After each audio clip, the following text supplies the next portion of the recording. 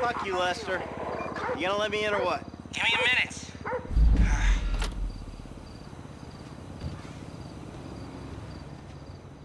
I was wondering when you'd show up. I was dead. Praise be. Guess you weren't very dead. You need my help. How do you know? Because you came here. Why else would you? I haven't been a good friend for you, Lester. I know that. And you're gonna make it up to me by doing whatever I ask.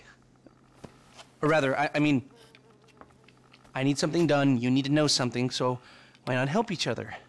I gotta make some dough, So you're back in the game? I guess.